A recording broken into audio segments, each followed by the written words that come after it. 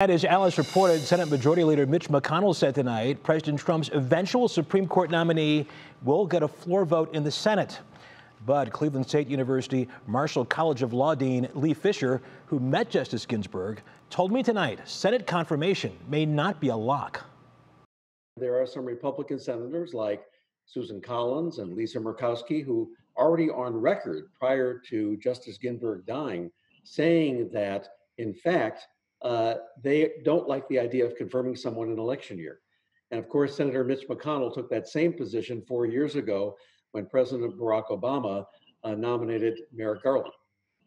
What kind of person was Ruth Bader Ginsburg? Uh, somebody who was solely focused on justice. She literally lived justice her whole life. She was one of those rare people who was famous even before she got on the Supreme Court.